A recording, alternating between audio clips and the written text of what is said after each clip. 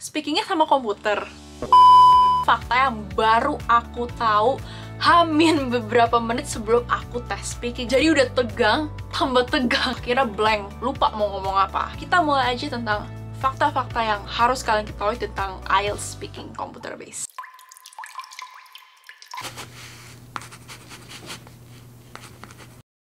Well, well, well, zimzabim Hai guys, kembali lagi bersama aku Leoni di YouTube channelku.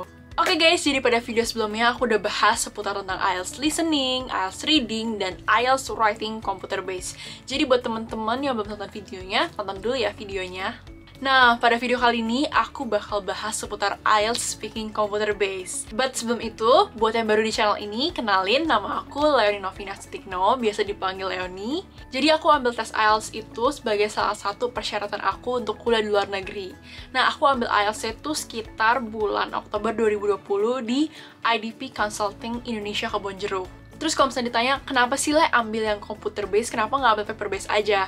Jujur banget guys, aku tuh lebih suka ngerjain IELTS tuh pakai paper base. Tapi berhubung aku uh, tes IELTS itu hamin seminggu sebelum universitas aku buka pendaftaran jadi ya mau nggak mau aku harus ambil yang computer base karena kan hasil bisa keluar dalam 3-5 hari aja berbeda dengan paper base yang harus nunggu 13 hari jadi in case ya amit-amit pada saat itu tentu aja uh, aku harus mengulang takutnya band IELTS-nya nggak cukup uh, sesuai dengan requirement-nya jadi aku ambil yang computer based tapi bersyukur banget bisa lolos dalam sekali percobaan. Gitu deh jadi tanpa berlama-lama lagi langsung kita mulai aja tentang fakta-fakta yang harus kalian ketahui tentang IELTS speaking computer based. Yang pertama speakingnya sama komputer Nah, yang pertama ini mungkin dari teman-teman ada berpikir nih kalau misalkan karena kita ambil yang IELTS computer base, maka nanti pas bagian speaking kita juga bakal ngomong sama komputer yaitu sama kayak TOEFL IBT. Tapi enggak ya guys kalau misalkan di IELTS. Karena walaupun kita ambil computer base, kita tetap bakal face to face dengan examiner yaitu dengan orang. Examiner pun berbeda-beda tergantung hokinya kita sih sebenarnya. Tapi pada saat itu aku dapetnya tuh yang uh, Indonesian gitu tapi Indonesia bisa bisa lancar ngomong Inggris. Sedangkan teman aku ada yang dapat native bullet ya walaupun beda lembaga sih waktu itu tesnya. Jujur aku pribadi aku lebih pengen uh, dapetnya native karena katanya tuh lebih baik ya. Tapi bukan karena penilaian lebih baik ya guys. But cara native membawakan speakingnya itu lebih santai dan uh, apa ya bikin gak grogi gitu loh.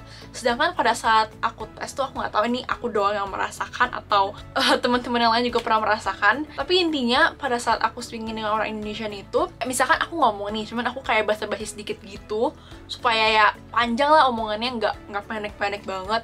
Nah itu tiba-tiba langsung di stop di cut down gitu sama si uh, examinernya terus dia nge-repeat pertanyaan yang sama. Itu kayak aku pengen ngomong please let me finish my answer gitu loh. Jadi udah tegang tambah tegang guys.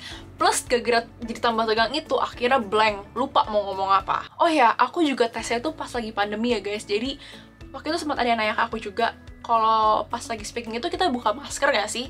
Apa tetap pakai masker atau gimana gitu Nah, kalau bersama pengalaman aku kemarin, aku tuh tetap pakai masker.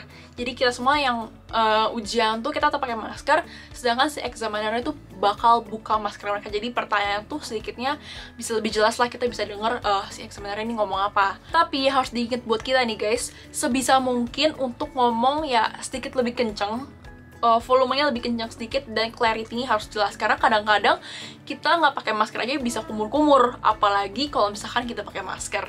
Jadi diingat ya guys. Yang kedua jadwal speaking. Nah, aku nggak tahu di tempat lain tuh gimana, cuman aku pernah baca di internet, kalau misalkan kita ambil yang computer base, jadwal speaking kita itu bakal ada di hari yang sama dengan jadwal listening, reading, dan writing kita, atau yang aku sebut lirewe ya guys, karena kepanjangan ngomongnya. Nih, misalkan kalian tes lirewe itu di hari Sabtu, nah jadwal speaking kita itu nggak mungkin dia ada di hari Jumat, atau di hari Kamis, atau bahkan di Senin depannya ya guys, tapi bakal ada di hari Sabtu juga.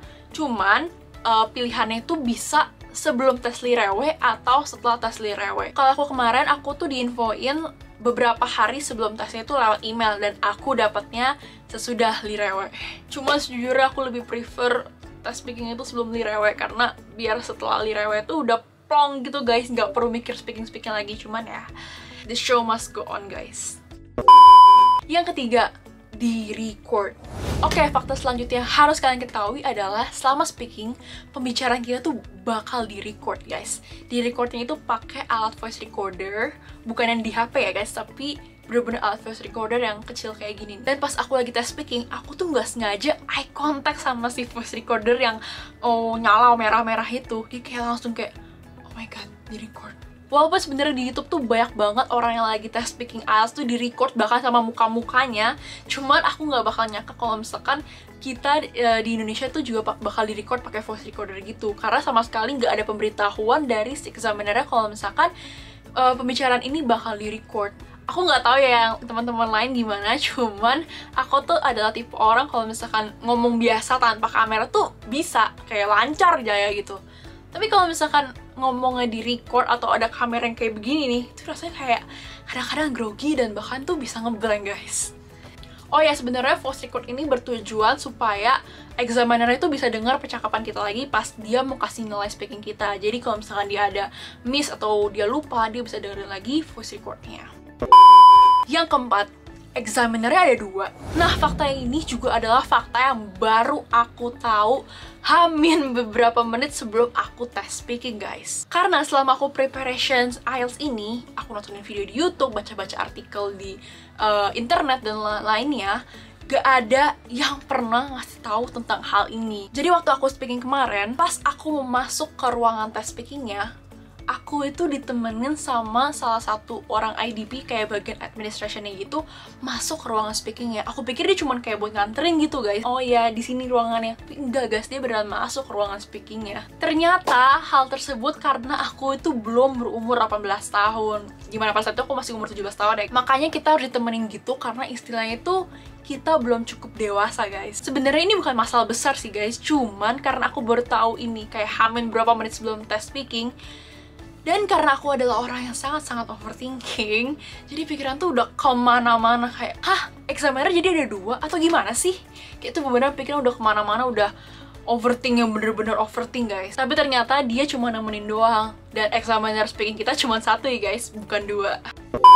Yang kelima dan yang terakhir adalah dapat kertas. Seperti yang teman-teman tahu, kalau misalkan di bagian section 2 speaking, kita bakal dikasih sebuah topik pertanyaan dan punya satu menit untuk brainstorm, mikir, dan nulis terkait topik tersebut. Nah, seperti di listening, reading, dan writing sebelumnya, saat speaking tepatnya pada section 2, kita bakalan dapat kertas, tapi bukan kertas A4 ya guys, melainkan notes-notes kecil gitu, kayak notepad gini nih kita boleh nulis dan bikin coret-coretan kecil di notes yang udah dikasih itu pakai pensil HB yang udah kita bawa. Jadi jangan sampai ketinggalan ya guys, pensil HB itu penting banget. Oh ya sama tips dari aku, karena waktu satu menit itu singkatnya pakai banget, jangan nulis semuanya kayak pembukaan, isi, penutup kayak bikin skrip gitu ya guys.